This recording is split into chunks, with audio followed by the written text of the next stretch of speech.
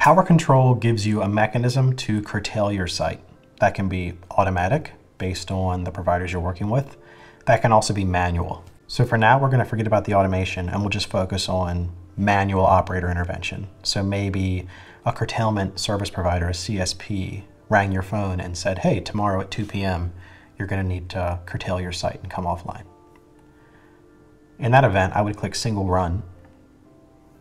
When's it going to happen? We'll say in the future. You can also perform curtailments immediately. So if it wasn't a future run, I could say run something now. So maybe we're doing maintenance on a generator or our plant, and we need to bring the facility's consumption down. So back to that CSP conversation, we'll go ahead and schedule one in the future. It's going to happen tomorrow. We'll say 2 p.m. What's going to happen? We're going to power down the mine. You're able to tell Foreman what miners it's able to operate on. So just like triggering, you can say operate on any miner or all miners. You can also subset here. So if you wanted to target a specific IP range, a specific customer, a specific type. So because we know this is a site-wide curtailment, we're gonna say Foreman, you can operate on every miner at this facility. How will Foreman select? I'm gonna assume that you've associated your PDUs into your sitemap as infrastructure, and you've also associated attributes of your power phases to your sitemap as well. When you have PDUs entered and you have power phases entered, Foreman can now perform a phased balance curtailment. So our selection method will appear when we have those two pieces, PDUs and power phases.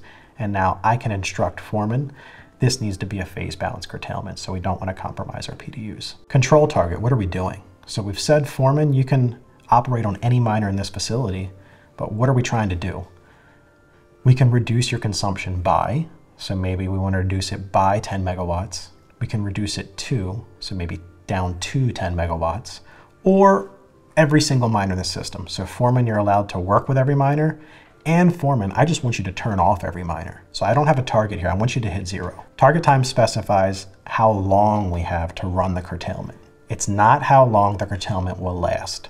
So if you specify a target time of five minutes, that means that tomorrow at 2 p.m., Foreman will bring every single miner at the facility offline, balancing our power phases as we're curtailing, and it will spread that curtailment ramp down evenly across a five minute window. So if your infrastructure is not able to handle 100 megawatts coming offline in 10 seconds, you might want to use target time to make it like a nice even spread, this linear reduction. If you're lucky, you can specify zero and just say Foreman, go ahead and stop the world. Now, maybe the CSP said it's an hour long curtailment. So we would schedule a run for 2 o'clock. So we'll go ahead and schedule that one.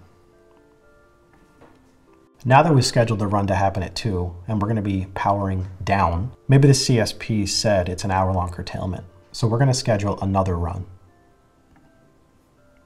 This will again be in the future. And we'll schedule that one for 3 p.m. So it's a one hour long curtailment. The difference here is the power direction. We're going to change it and power up. And again, just like before, we want it to be a phase balanced power up. We want Foreman to turn every miner back on.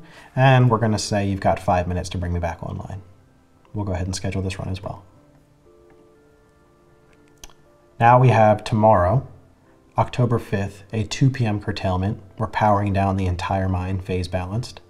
At 3 p.m., one hour later, we're powering up the entire mine phase balanced.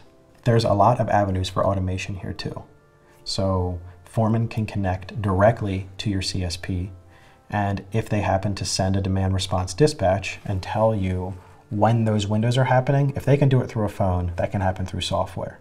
So that message can come directly into Foreman. That could be Voltus, CPower, any CSP. That message comes into Foreman. We automatically schedule your ramp down. We automatically schedule your ramp back up. So now you never miss a curtailment window. Power control works by sleeping the miners. So it's not a kill of power to the miner. Generally, when you're curtailing a facility, people might be coming from a very manual process. So you're dispatching people across the site, they're going out to where the breakers are, you're opening breakers and you're closing breakers. That violent action, that rush of current degrades power supplies, degrades fans, degrades chips, degrades boards over time. It's this very, very hot device that has that, that's emitting tons of heat and as soon as you kill the power, all the fans stop. So that heat sits and it kind of cooks those chips. So you want to keep the miners powered up. You want to bring their consumption down. And that's what Foreman provides. With sleep mode, Power continues flowing, the fans continue spinning, so the miner can cool gracefully. With sleep mode, you can expect a 97.2% power cut. So that's enough to hit those demand response windows and you don't have to open breakers and close breakers.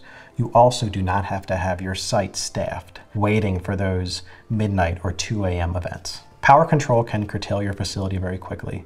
Depending on the constraints that you have, whether that could be a 10 minute response time from a curtailment service provider or peak avoidance if you're worried about the price of electricity in your market going too high, or if you're participating in a very fast acting program like the ones in ERCOT. Foreman can curtail your operation, regardless of its size, in less than a minute.